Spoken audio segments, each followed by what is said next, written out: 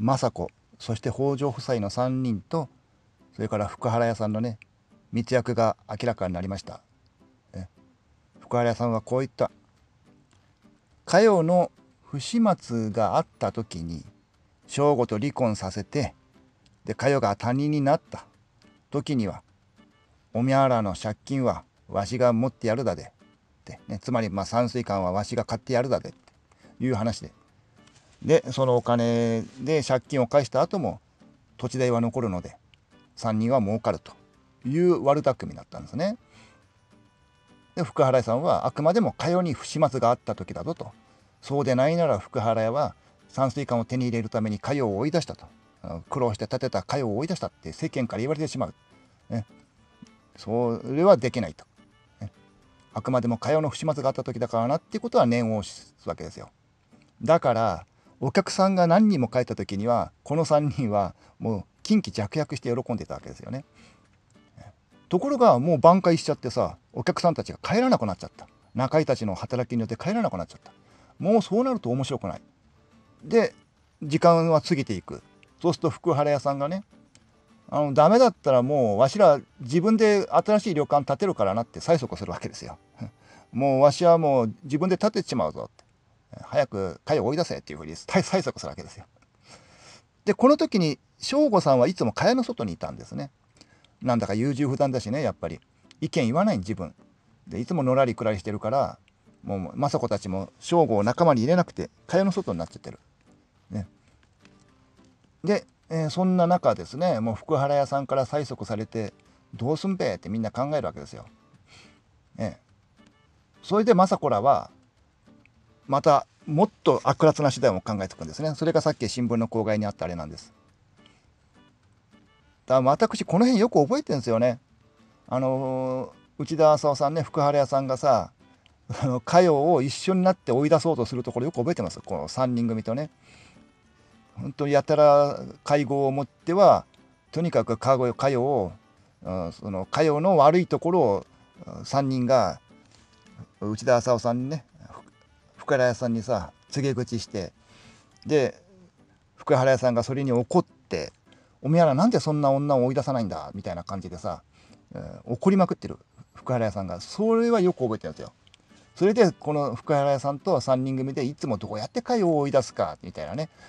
そういう話し合いをしてるっていうのはねその光景はよく覚えてますね。間違いなくそういうのがあったでいつも私はテレビ見ていてムカムカムカムカしてたわけですよ。みんな悪役ね、北条夫妻も、それ政子それから赤木春江さん、ね、加えてこの内田浅尾さん福原屋さん。北条の旦那の方はねちょっと印象薄いんだけど私にはね。まあ、その3人組のさその悪辣な顔ね。本当に顔つきからしていかにも悪役って顔でさ。特にあの赤木春江さんと内田浅尾さんは年季が入ってるからね。もう本当に怖かったし子供心に。でひどいやつらだなと思って見てました。でまあさっき郊外にあったようにね新聞の郊外にあったように雅子さんたちは今度はね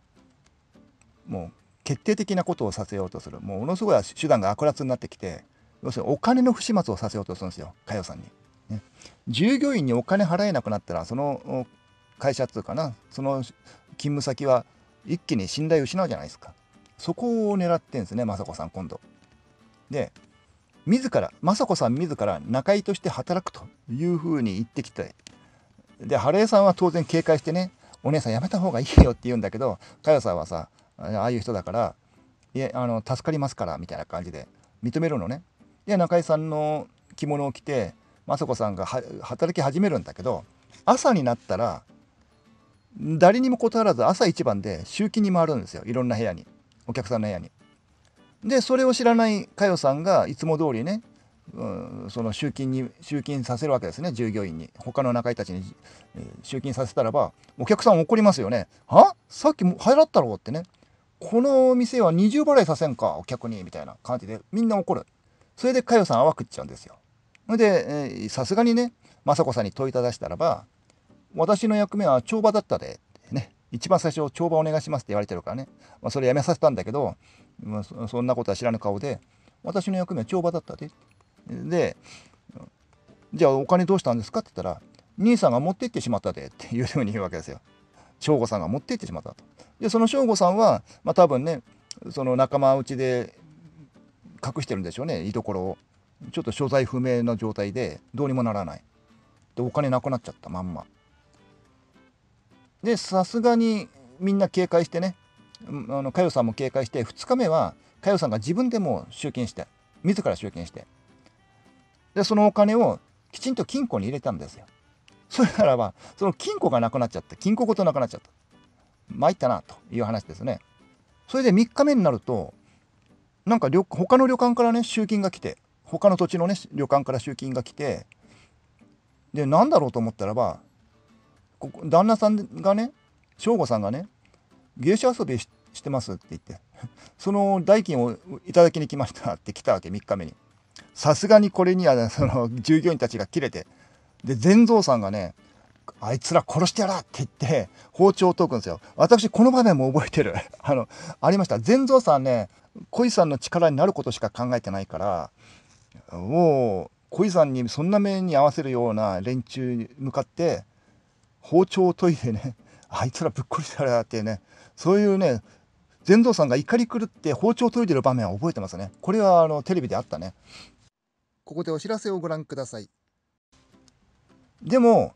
当然そんな先だったところにさ雅子さんが顔を出すわけなくて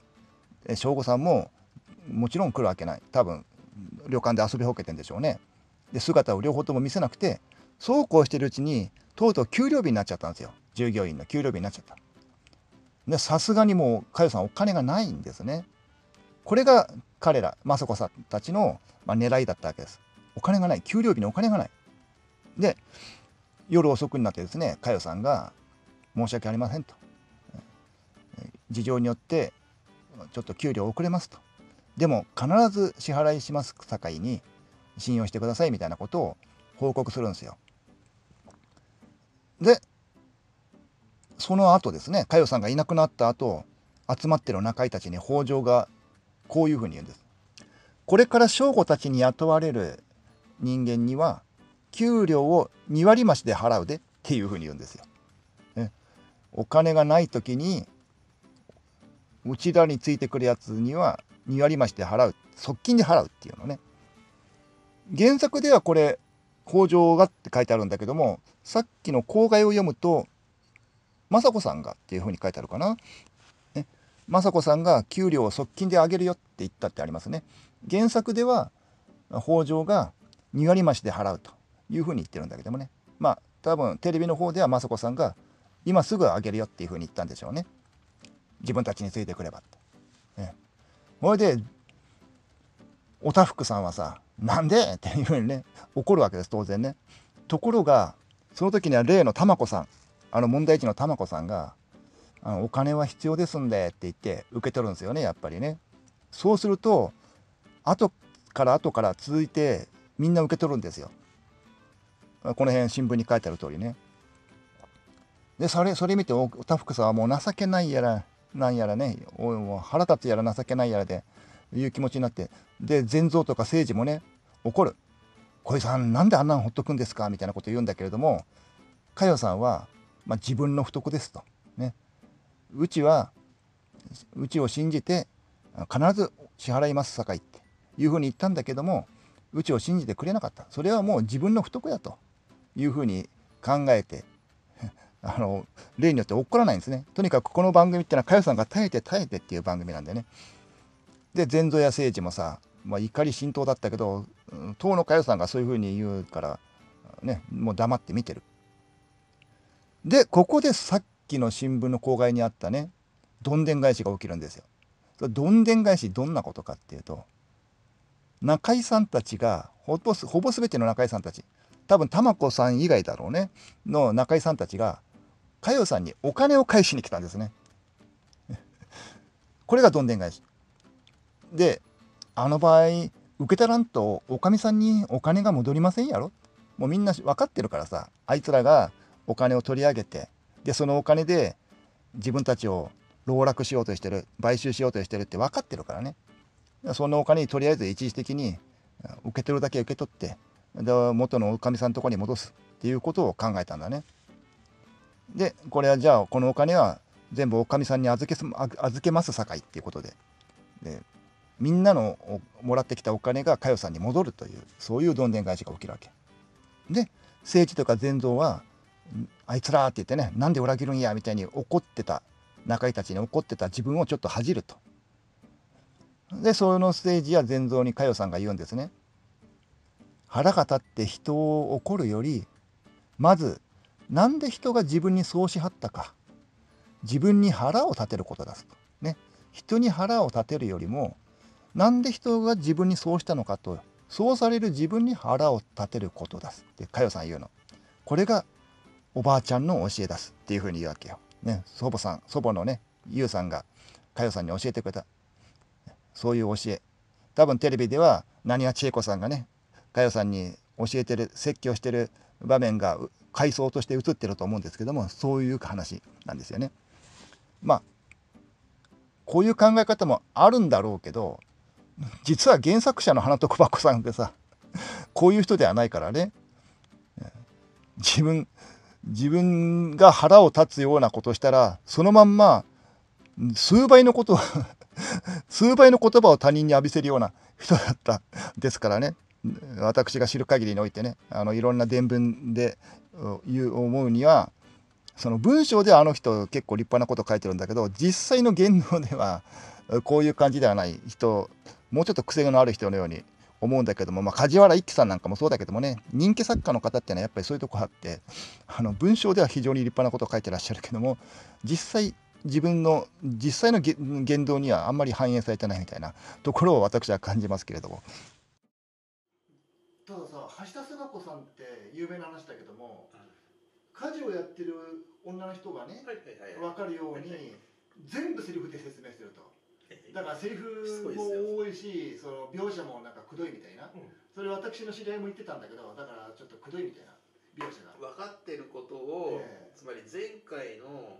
前の木曜日のことを分かってるのにわざと今出てる人たちに言わせるってことですよね。まあそういうのもそうだし